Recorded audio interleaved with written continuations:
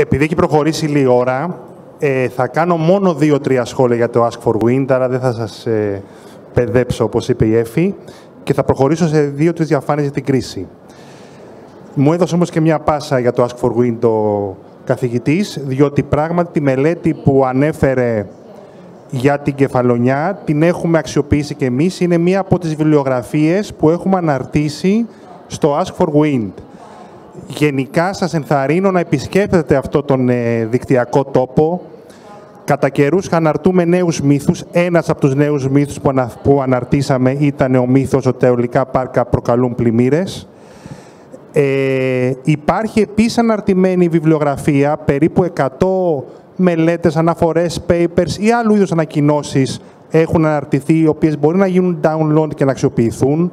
Μπορούμε copy-paste να πάρετε κείμενα και να τα χρησιμοποιήσετε και στις δικές σας μελέτες. Θα προχωρήσω στο βασικό μέρος των σχολείων που θέλω να κάνω. Μέχρι τώρα μιλήσαμε για θέματα τα οποία θα έλεγα ότι είναι ζητήματα που απασχολούν τις τελευταίες δύο-τρεις δεκαετίες. Αδειοδότηση, περιβαλλοντικές επιπτώσεις και κυκλική οικονομία πιο πρόσφατα.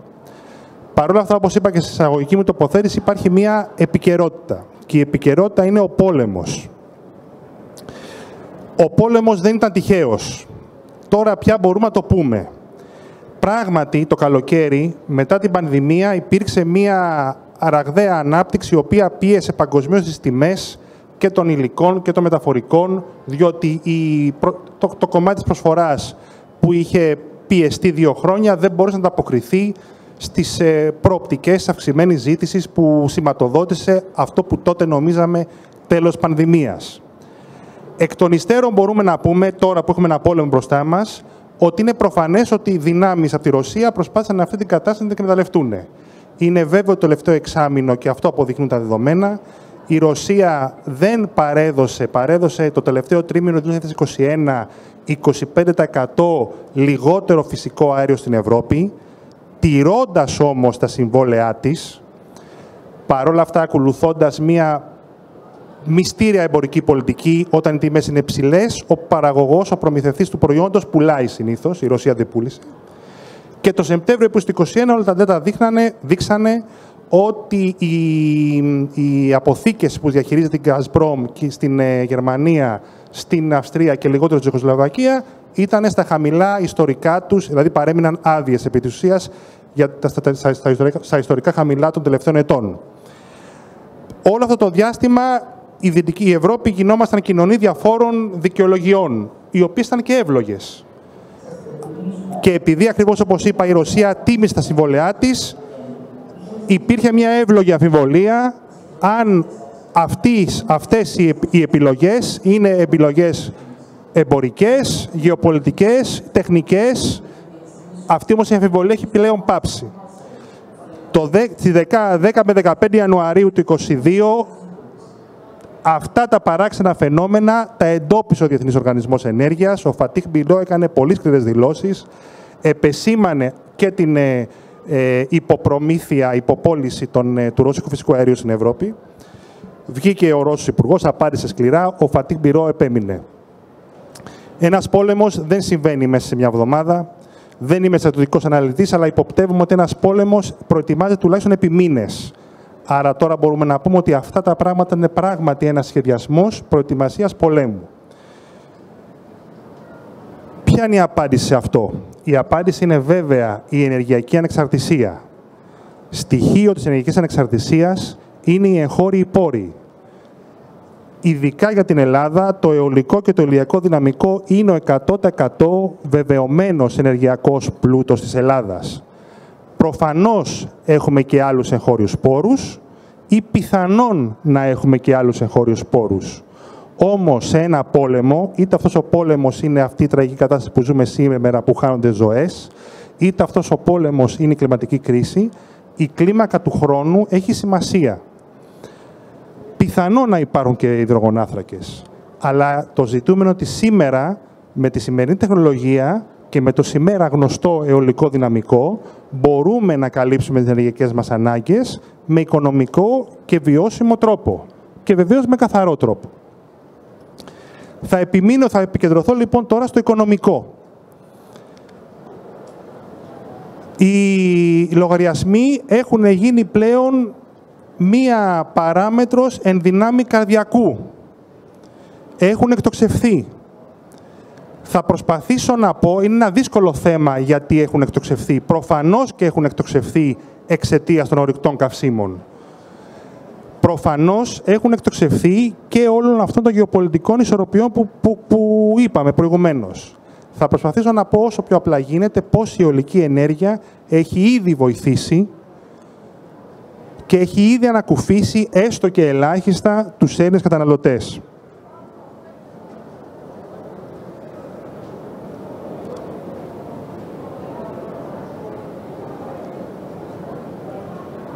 Εδώ.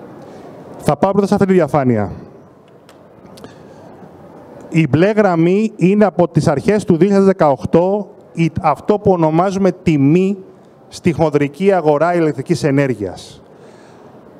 Από το 2000, ε, από τα, από τα τέλη του 20, ναι, από το 2021 και μετά, αυτή η τιμή έχει θοξευθεί.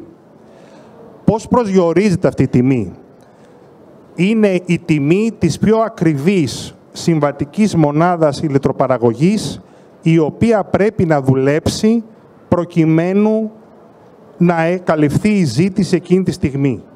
Αυτή η τιμή λοιπόν προσδιορίζεται ανταγωνιστικά από τις προσφορές που κάνουν κάθε ώρα η όλη η ηλεκτροπαραγωγή. Η οριακή μονάδα, η πιο ακριβή μονάδα που επιλέγεται να δουλέψει, ορίζει αυτή την τιμή της αγοράς. Προφανώς, στα πλαίσια του target model, όπως ήταν το φυσικό αέριο, όπως είναι το φυσικό αέριο ένα commodity, ένα χρηματιστηριακό προϊόν, και τα χρηματιστήρια πλέον αποκτούν σημαντικό ρόλο στην ηλεκτρική ενέργεια. Αυτό δεν είναι κακό. Να δούμε πώς θα εφαρμοστεί και πώς πρέπει να εφαρμοστεί προκειμένου να γίνει απτά, με αυτό τρόπο καλό. Έτσι λοιπόν διαμορφώνεται η τιμή.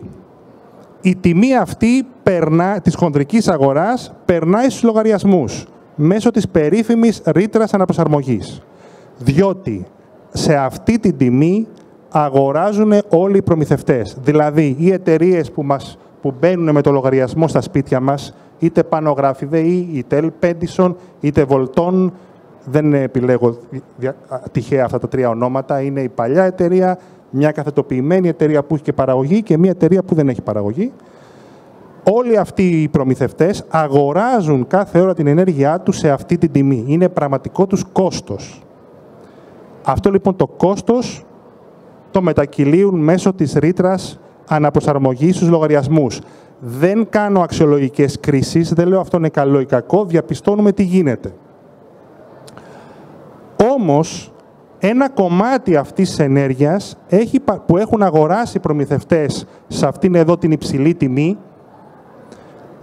έχει παραχθεί από ΑΠΕ, από αιωλικά πάρκα, από μικρά υδροελεκτρικά. Και οι ΑΠΕ αμείβονται αυτή την ενέργειά τους σε, με ένα μακροχρόνιο συμβόλαιο, με μια σταθερή τιμή. Ό,τι δηλαδή και να αγόρασε αυτό το κομμάτι της ενέργειας ο προμηθευτής, ποιο είναι το κόκκινο, εδώ αυτό, όσο και να αγόρασε αυτή την ενέργεια από ΑΠΕ ο προμηθευτής, ο παραγωγός ΑΠΕ θα αμυφθεί τη σταθερή ενέργεια που έχει στο συμβόλαιό του. Στην περίπτωση των νέων αιωλικών πάρκων, αυτή η σχεδόν σταθερή τιμή είναι με βάση το τελευταίο διαγωνισμό της ΡΑΕ από 55 έως 70 ευρώ τη μεγαβατόρα. Προφανώς το υλικό πάρκο έχει και άλλα κόστη, balancing κτλ. Αλλά δεν αναφέρομαι τώρα σε αυτά. Αναφέρομαι στο τι αμείβεται μέσω της χοντρικής αγοράς. Το, σήμερα, επειδή λειτουργούν και παλιά αιωλικά πάρκα στην Ελλάδα, το μέσο βάρος που, προσφέρουν, που, που ρίχνουν τα, όλα τα αιωλικά πάρκα, παλιά και νέα, στον καταναλωτή είναι της τάξης των 85 με 90 ευρώ τη μεγαβατόρα. Προφανώς τα νέα αιωλικά πάρκα που θα μπαίνουν θα είναι κάτω από αυτή τη γραμμή, είναι της τάξης των 55 ευρώ τη μεγαβατόρα. Επομένως, ένα μεγάλο κομμάτι της ενέργειας, το οποίο οι προμηθευτές το πληρώνουν στην υψηλή τιμή 200 και 210 και 220 ευρώ τη μεγαβατόρα, η οποία προσδιορίζεται από το χρηματιστήριο ενέργειας, από την ακριβότερη συμβατική μονάδα ηλεκτροπαραγωγής που δουλεύει, οι παραγωγοί που έχουν παράξει αυτή την ενέργεια, οι ΑΠΕ δηλαδή, την αμείβονται πολύ χαμηλότερα. Δημιουργείται λοιπόν ένα οικονομικό πλεόνασμα, μια οικονομική διαφορά. Αυτή την οικονομική διαφορά την παίρνει η κυβέρνηση, τη βάζεις στο Ταμείο Ενεργειακής Μετάβασης. Πώς προχωράω; Ε; Εδώ, εδώ. Τη βάζεις στο Ταμείο Ενεργειακής Μετάβασης και από το Ταμείο Ενεργειακής Μετάβασης επιδοτεί τους λογαριασμούς. Άρα ένα μήνυμα που πρέπει να ξέρουμε και πάση περιπτώσει όλοι εμείς του κλάδου των ΑΠΕ προσπαθούμε, θα πρέπει να προσπαθήσουμε να το εξηγήσουμε στον κόσμο, είναι ότι σε αυτή την επαχθή κρίση αυτό το πραγματάκι που γράφει πίστοση ΤΕΜ εκεί είναι λεφτά που υπάρχουν επειδή υπάρχουν τα αιωλικά πάρκα και τα μικρά υδροελεκτρικά. Είναι δηλαδή λεφτά που έχουν δοθεί.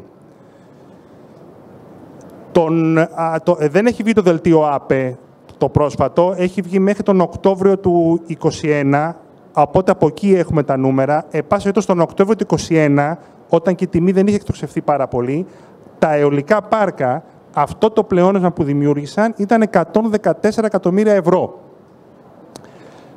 Ε, πριν από μια εβδομάδα μεταφέρθηκαν κατευθείαν 780 εκατομμύρια ευρώ από το πλεόνασμα, από, από αυτή την οικονομική διαφορά, στο Ταμείο Ενεργικής Μετάβασης. Άρα σήμερα που μιλάμε, υπάρχει ένα απτό οικονομικό αποτέλεσμα που έχουν προσφέρει οι φθηνές ΑΠΕ στον καταναλωτή. Αυτό δεν σημαίνει ότι ο καταναλωτής δεν υποφέρει. Ο καταναλωτής υποφέρει και πολύ φοβάμαι θα συνεχίσει να υποφέρει όσο παραμένουμε εξαρτημένοι στα ορυκτά καύσιμα. Αλλά πρέπει να έχουμε στο μυαλό μας ότι αν δεν υπήρχαν τα αιωλικά πάρκα θα είχε υποφέρει περισσότερο. Αυτό είναι το πρώτο όφελος που δημιουργούν τα αιωλικά και το έχουμε ζήσει ήδη. Το δεύτερο και λίγο δυσεξήγητο, πάω πίσω τώρα, είναι το εξής. Η μπλε γραμμή με την τιμή στην αγορά που βλέπαμε πριν είναι αυτή εδώ. Η κόκκινη. Αυτή είναι η πραγματική, η πραγματική τιμή που διαμορφώθηκε στην αγορά από το 2021 όλο το 2021. Τα ΑΠ έχουν και το εξής χαρακτηριστικό. Είναι τζάπα ο ήλιος και ο άνεμος, άρα έχουν μεταβλητό κόστος 0. Άρα είτε στο παρελθόν που είχαμε και νομικά κατοχυρωμένη προτεραιότητα, είτε και τώρα στις σημερινές αγορές, επειδή έχουμε μεταβλητό κόστος 0, έχουμε στην πράξη οικονομική προτεραιότητα. Όταν λοιπόν το ΑΠΕ λειτουργεί, επειδή έχει μεταβλητό κόστος 0, οδηγεί σε σβήσιμο εκείνη την ώρα τις πιο ακριβές συμβατικές μονάδες ηλεκτροπαραγωγής. Και όπως είπαμε προηγουμένως, η πιο, συμβατική, η πιο ακριβή συμβατική μονάδα ηλεκτροπαραγωγής που δουλεύει ορίζει την τιμή της αγοράς, η οποία μέσω της ρήτρας βαρύνει τους καταναλωτές. Όσο λοιπόν λειτουργούν ΑΠΕ με μεταβλητό κόστος 0, σβήνουν οι πιο ακριβές μονάδες. Έτσι αυτή που λέγαμε παλιά οριακή τιμή συστήματος και που τη λέμε τώρα τιμή εκαθάρισης αγοράς, μειώνεται.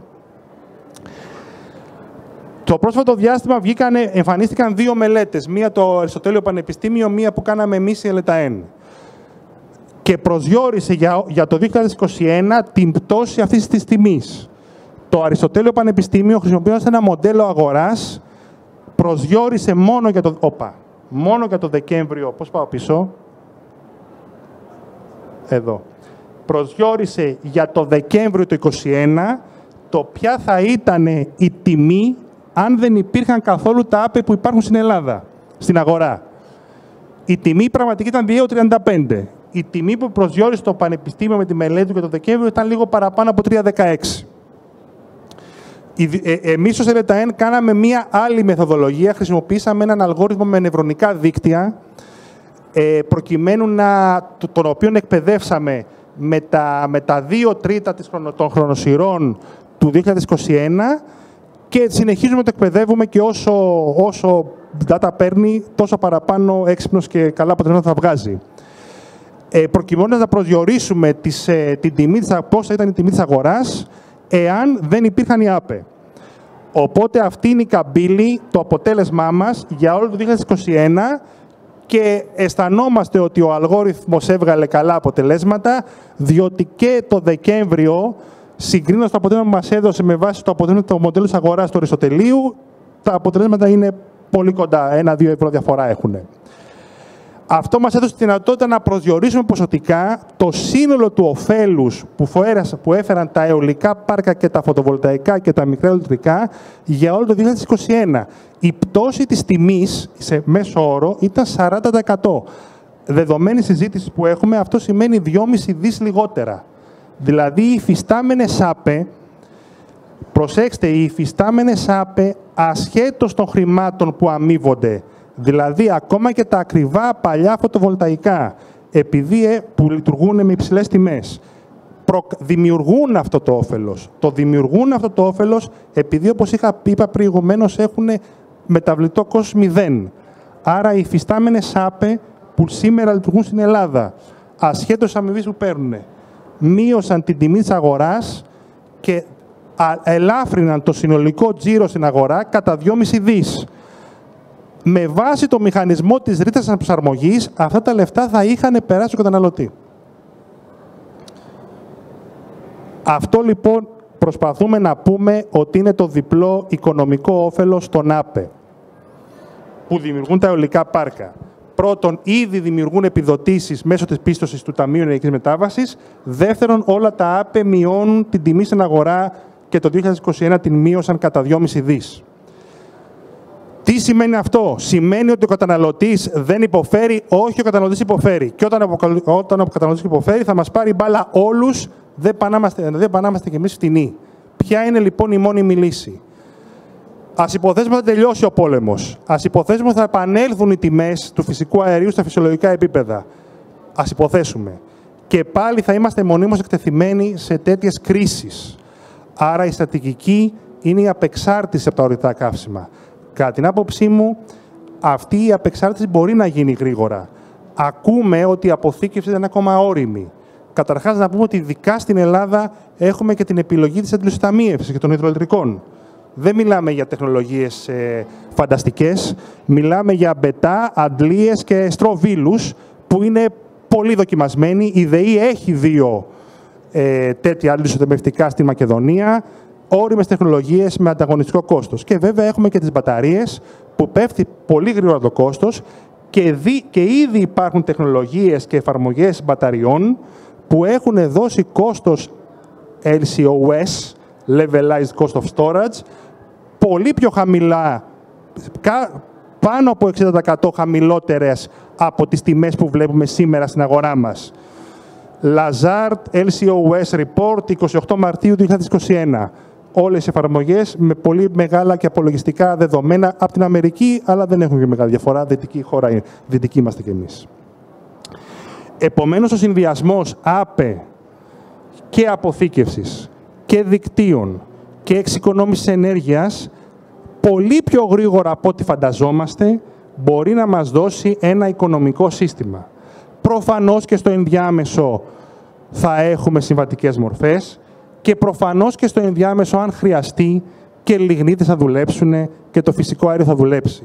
Και δεν πρέπει αυτό να εκλαμβάνεται μέσα στην ιδεολειψία μερικών ως ήττα της πράσινης μετάβασης. Το ανάποδο.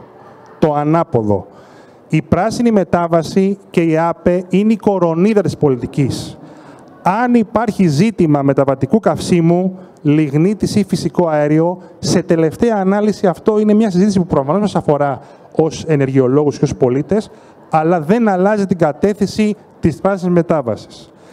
Και γιατί λοιπόν δεν είναι ήττα, διότι είναι τρεις οι βασικοί πυλώνες πολιτικής. Όταν η γιαγιά μου σηκώσει το διακόπτη, πρέπει να έχει ρεύμα. Θέλουμε να έχουμε ρεύμα.